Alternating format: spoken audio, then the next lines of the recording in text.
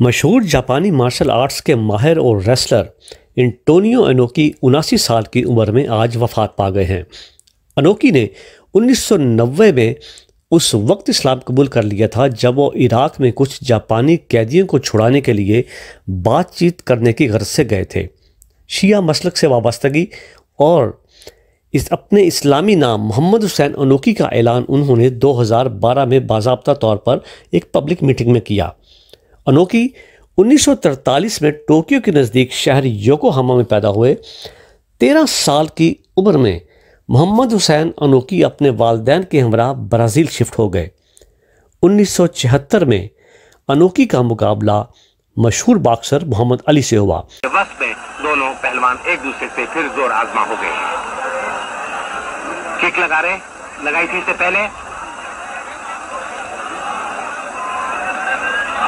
अनोखी ने जुबैर का बाजू अपने कब्जे में कोशिश करने, कोशिश की ताकि आम लॉक लगाया जाए, लेकिन जुबैर कुर्सी से बचे।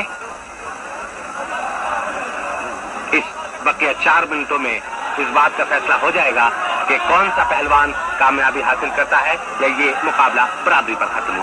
इस मुकाबला को मिक्स्ड मार्शल आर्ट्स मैच भी कहा जाता है। अनोखी और मोहम्मद अली के इस मुकाबला को पूरी दुनिया में बहुत शोहरत हासिल हुई।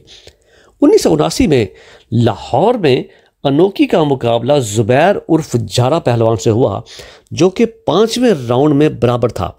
लेकिन मुकाबला के रेफरी ने अनोखी के कहने पर ऐलान किया कि जुबैर उर्फ़ झारा उनसे बेहतर पहलवान हैं और यूँ यह मुकाबला जुबैर उर्फ़ झारा ने जीत लिया।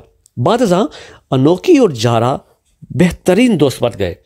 मैं हूँ Ejaz Afsal twenty four seven news UK